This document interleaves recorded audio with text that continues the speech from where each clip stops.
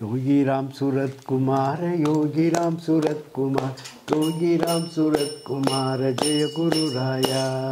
योगी राम सूरत कुमार योगी राम सूरत कुमार योगी राम सूरत कुमार जय गुरु राया। बरोल योगी राम सूरत कुमार महाराज की। जय हो वेटी वेटी जयम जयम। जयम जयम। वेटी वेटी अखंड नाम श्रीनिवासन।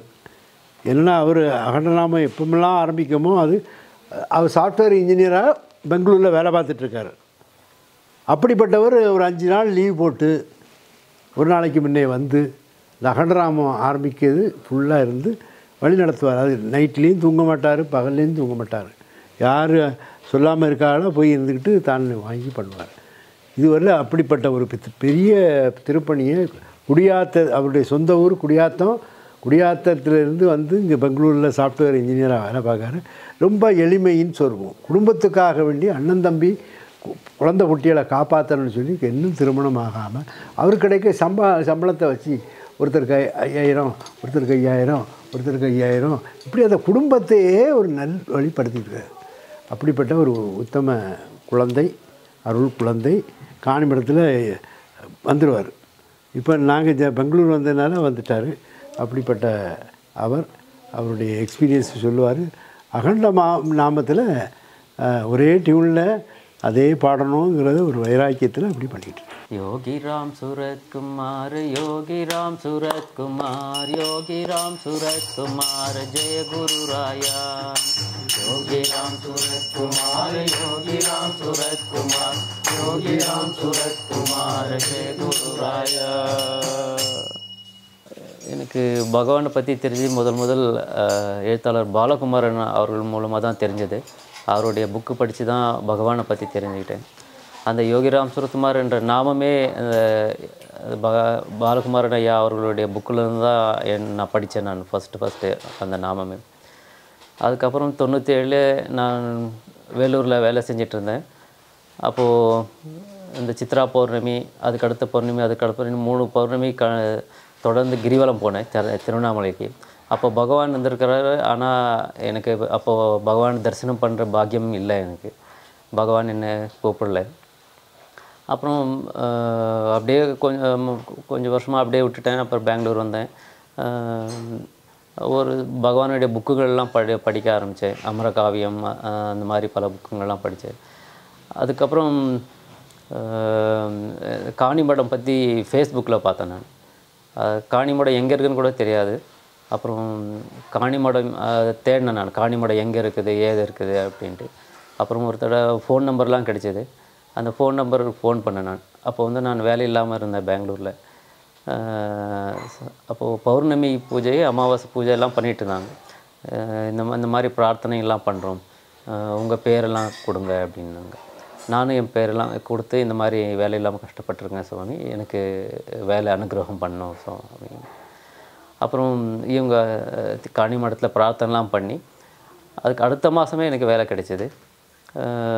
வேலை கிடைச்சி ஆஃபர் லெட்டர் அப்பாயின்மெண்ட் ஆர்டர் எடுத்துக்கிட்டு நம்ம கா டைரெக்டாக மறுநாளே காணிமடம் கிளம்பிட்டேன் நான். போய் அங்கே சுவாமிகிட்ட வச்சு ஆசீர்வாதம் பண்ணி அதுக்கப்புறம் வந்து இங்கே வேலையில் ஜாயின் பண்ணேன். அது ஒரு பெரிய பாக்கியம் அற்புதம். அது ஒரு பெரிய அற்புதம். அதுக்கடுத்து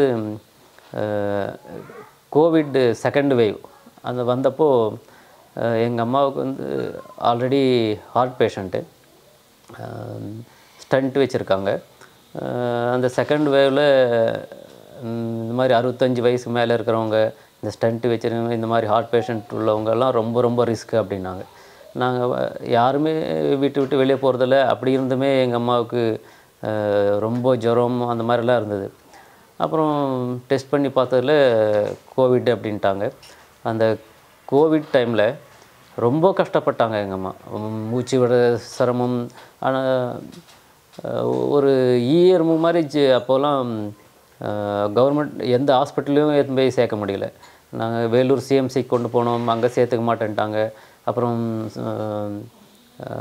சக்தி அம்மா ஹாஸ்பிட்டல் இருக்குது மல்டி ஸ்பெஷாலிட்டி ஹாஸ்பிட்டல்ன்ட்டு அங்கேயும் கொண்டு போனோம். அங்கேயும் இல்லை சேர்த்துக்க மாட்டேன் அப்படின்ட்டாங்க. அப்புறம் மறுபடியும் நாங்கள் வீட்டுக்கே கூட அழைச்சிட்டு வந்தோம். அவங்க வந்து கவர்மெண்ட் ஹாஸ்பிட்டலில் கொண்டு போய் சேர்த்தோம். அந்த அன்றைக்கி நிலைமையில் கவர்மெண்ட் ஹாஸ்பிட்டலில் ஆக்சிஜன் சிலிண்டர் ஓரளவுக்கு கிடச்சிட்டு இருந்தது. ஆனால் ரொம்ப கஷ்டம். எங்கள் அம்மாவுக்கு வந்து மற்ற பேஷண்ட்டுகள்லாம் கொஞ்சம் நார்மலாக இருந்தாங்க. எங்கள் அம்மாவால் அவ்வளோ உடம்பு சரியில்லாமல் இருந்து அவங்களால நடக்க முடியல. யாராவது ஒருத்தர் கூட இருக்கணும். ஆனால் கோவிட் பேஷண்ட்னால நம்மளாலாம் கூட யாரும் இருக்க விட மாட்டேன்ட்டாங்க. நான் காணி மடத்துக்கு ஃபோன் பண்ணேன். காணி மடத்துக்கு ஃபோன் பண்ணி சாமிக்கு ஃபோன் பண்ணி சாமி இந்த மாதிரி எங்கள் அம்மா உடம்பு சரியில்லாமல் இருக்காங்க சீரியஸாக இருக்காங்க. ஆக்சிஜன்லாம் வச்சுருக்காங்க சாமி. ஒன்றும் பர பரவாயில்ல. நாங்கள் பிரார்த்தனை பண்ணுறோம் அவங்க அம்மா வீட்டுக்கு திரும்ப வந்துடுவாங்க அப்படின்னு சொன்னாங்க. மூணு நாள் ஆக்சிஜனில் வச்சுருந்தாங்க. அதுக்கப்புறம் நான் மூணு அப்போ லீவ் போட்டு அங்கேயே ஊர்லேயே அந்த குடியாத்தர்லேயே இருந்தேன். தொடர்ந்து யோகிராம் சுரத்குமார் நாமம் தான் சொல்லிகிட்டே இருந்தேன். எங்கள் அம்மாவுக்கும் சொல் சொன்னேன் இந்த மாதிரி நாமும் சொல்லிகிட்டே இருங்கன்ட்டு. நான் வீட்டில் எல்லாருக்குமே நான் யோகிராம் சுரத்குமார் நாமும் இன்ட்ரடியூஸ் பண்ணுற ஒரு பாக்கியம் எனக்கு கிடைச்சிது. ஸோ எல்லாரையும் சொல்ல வச்சேன். நானும் தொடர்ந்து ஹாஸ்பிட்டல்லையே இருந்தேன். ஹாஸ்பிட்டல்லையும் சொல்லிகிட்டே இருந்தேன். மூணு நாள் கழித்து ஆக்சிஜன் எடுத்துட்டாங்க. ஓரளவு கொஞ்சம் தெளிவானாங்க. அப்புறம் ஆக்சிஜன் எடுத்துகிட்டு நார்மலாக இருந்தாங்க. அதுக்கப்புறம் மறுபடியும் ஒரு வாரம் கழித்து ஒரு ஆக்சிஜன் இல்லாமல் ஒரு வாரம் இருந்தாங்க. அதுக்கப்புறம் ஒரு வாரம் இந்த ரிஹாபிலேஷன் சென்டர்ன்ட்டு ஹாஸ்பிட்டல்லேருந்து கூப்பிட்டு போய் வேறு ஒரு இடத்துல ஒரு வாரம் அந்த மாதிரி வச்சுருந்தாங்க. வீட்டுக்கு அனுப்புறதுக்கு முன்னாடி. ஸோ அந்த மாதிரி தொடர்ந்து யோகிராம் சுரத்குமார் நாமம் சொன்னதுனால தான் எங்கள் அம்மா இன்றைக்கி எங்கள் எங்கள் கூட இருக்காங்க எங்கள் வீட்டுக்கு திரும்ப வந்தாங்க. அது ஒரு மிகப்பெரிய அற்புதம். யோகிராம் சுரத்குமார் ஜெய குருராயம்